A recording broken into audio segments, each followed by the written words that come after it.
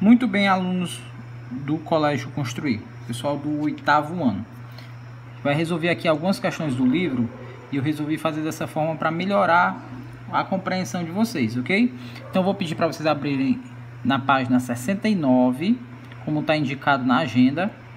Nós vamos responder aqui alguns exercícios. Eu vou responder exercícios fundamentais e o testando seu conhecimento, como fiz na aula anterior, e o aprofundando conhecimento fica com vocês. Então, vou responder a página 69, a página 70 fica para vocês responderem de acordo com como está descrito na agenda, ok? Então, vamos lá. Na primeira questão, nós temos assim, ó. A respeito do, carbono, do carbonato de cálcio, resolva as questões de 1 a 6 com base nas informações. Então, o carbonato de cálcio, ele é um sal, é um tipo de sal presente na casca do ovo e presente também naquelas estruturas rochosas de cavernas, quer seja as estalactites, que são as partes superiores, ou as estalagmites, são as partes inferiores. Aí a primeira questão diz assim, ó, escreva os nomes e os símbolos de cada elemento químico presente na fórmula do carbonato de cálcio. Então, a fórmula do carbonato de cálcio é o CaCO3. Ele pede para escrever o nome e os símbolos. O Ca é o cálcio. O C é o carbono. E o O é o oxigênio. Pronto, muito fácil. Então, dessa forma, nós resolvemos a primeira questão. Lembrando que eu estou respondendo aqui no meu livro, mas você vai responder no seu caderno, porque você precisa enviar essas questões lá no Google Classroom. Na segunda questão, nós temos qual o número total de átomos presentes em sua fórmula? Lembrando que o número de átomo está representado pelos números que ficam aqui embaixo, olha. Então, quando a gente escreve CaCO3, quando não aparece o um número, subentende que existe o número 1. Então, eu tenho um átomo de cálcio, cálcio 1. Tenho carbono, não aparece nenhum número aqui embaixo, um átomo também. E esse 3 pertence ao oxigênio. Então, o oxigênio nós temos três átomos. Tranquilo? Terceira questão. Qual elemento químico na fórmula é essencial para a formação e desenvolvimento dos ossos? Ora, gente, a gente estudou isso em biologia, em sais minerais. O cálcio é importante para a formação óssea e presente principalmente em leite e derivados de leite, que é o que ele vai perguntar mais à frente. Quarta questão. Qual elemento químico cuja deficiência provoca a osteoporose? De novo, gente, o cálcio. Cálcio provoca osteoporose, o osso fica frágil. Quinta questão. Cite um alimento rico em cálcio. Acabei de falar. Leite e derivados do leite.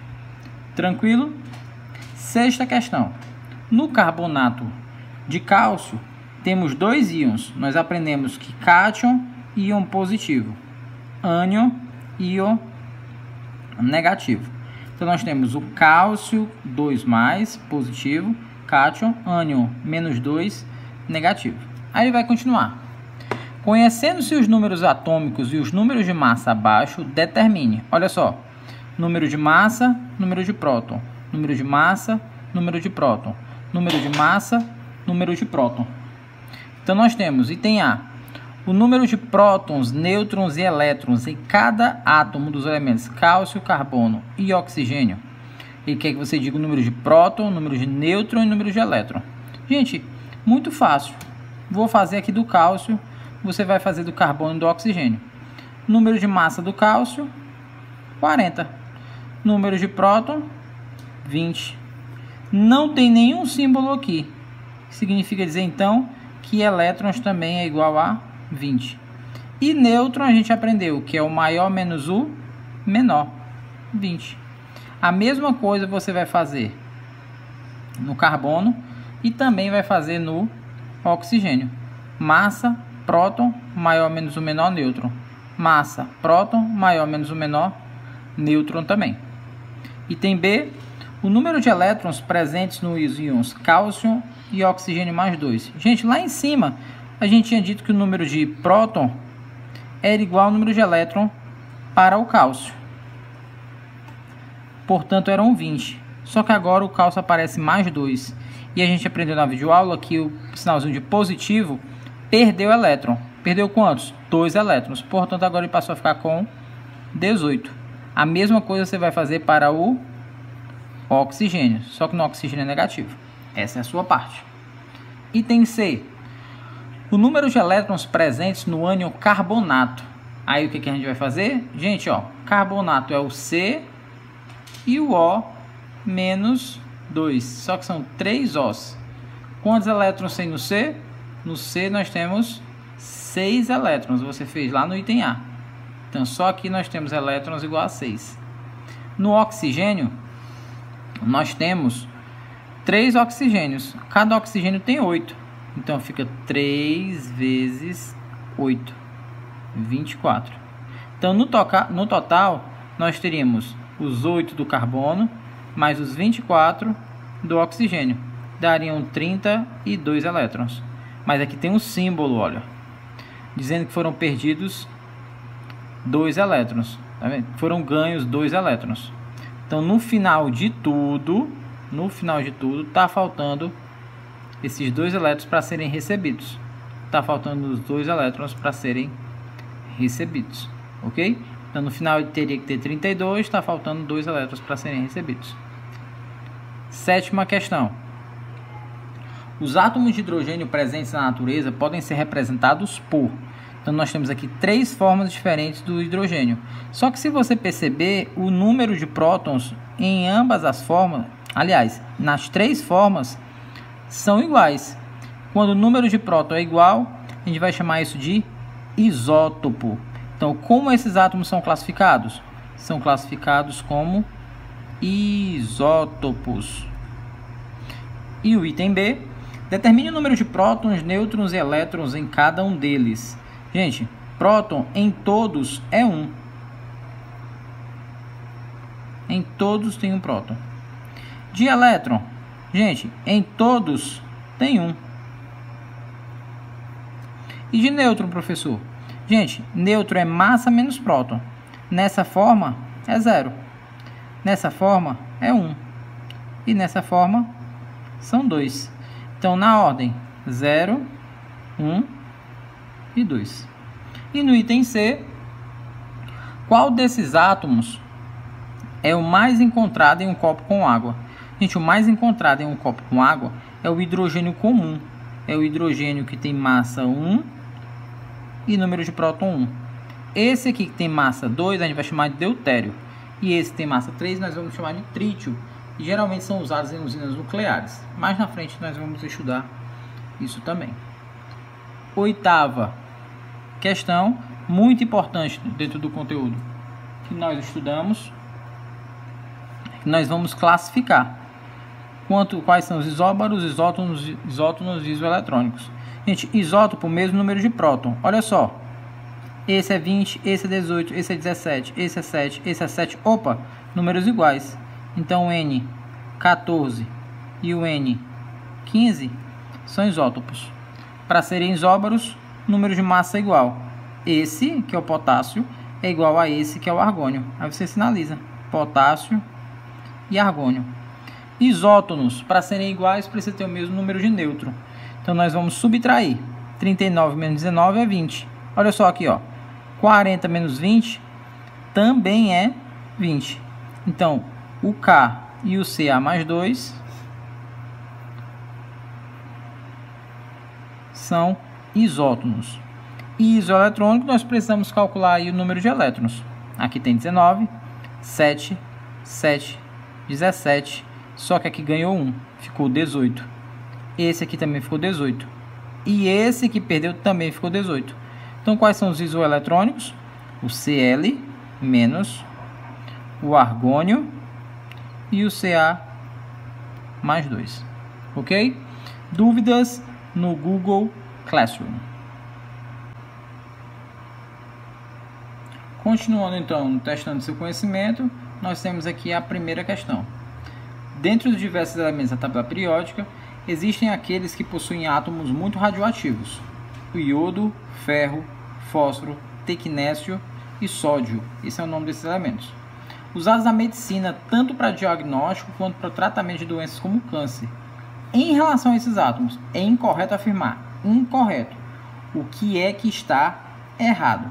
Aqui está dizendo, gente, que o número de massa do tecnécio é 99. Isso é verdadeiro, mas ele quer que a gente marque o incorreto, ok? O número de átomo, o número atômico do ferro é 26. Isso também é verdadeiro, mas não é esse item que a gente vai marcar. O número de prótons do iodo é 53, verdadeiro também. O número de elétrons do sódio é 11. Ora, prótons igual a elétrons, porque não tem símbolo de positivo nem negativo, verdadeiro. Restou o item E. O número de nêutrons do fósforo é 15. E isso é falso.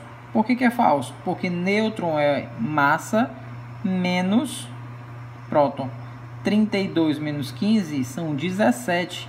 E aqui a afirmativa está dizendo que são 15. Portanto, você vai assinalar o item E. O item E é o item para você marcar, é o item que a questão indica como incorreto. A gente teria que marcar o incorreto. Segunda questão diz assim: considere a representação.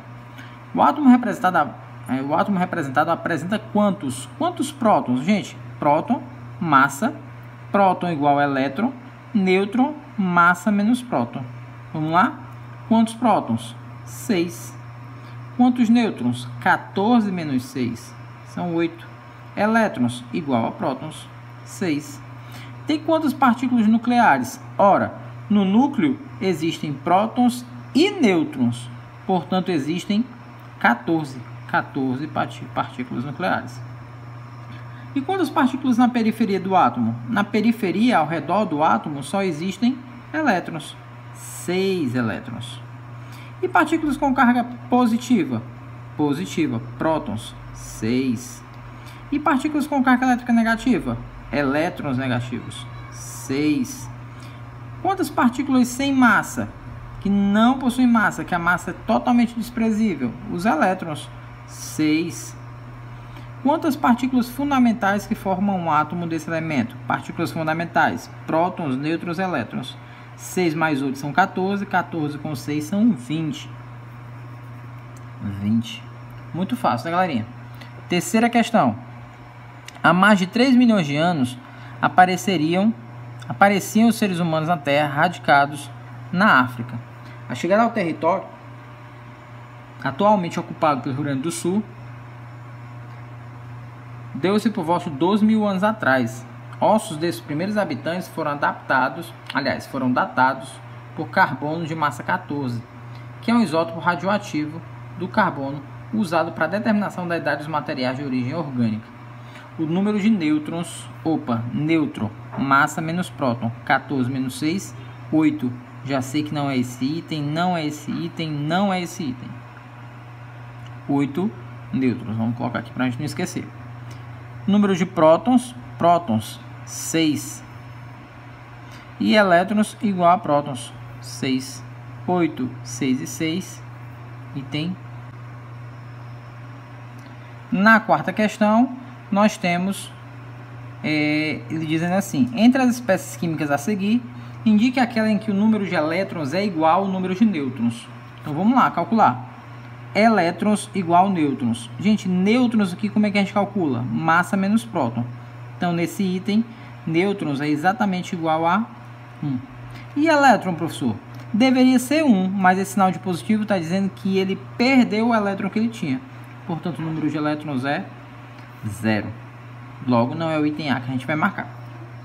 Item B, número de nêutron, massa menos próton, N igual a 7.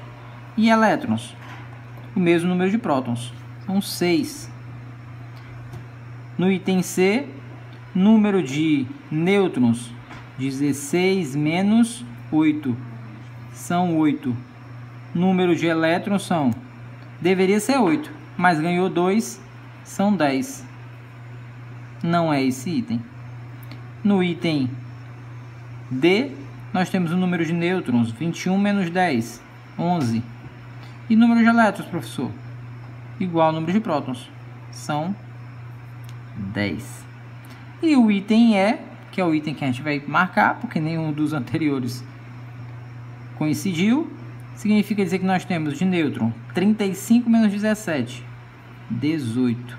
E, ele, e elétrons, professor? Deveria ser 17, mas ganhou 1, 18 também. Portanto, item E. Tranquilo, galerinha? Então, exercícios fundamentais e testando seu conhecimento foram resolvidos. As demais páginas ficam com vocês. Grande abraço.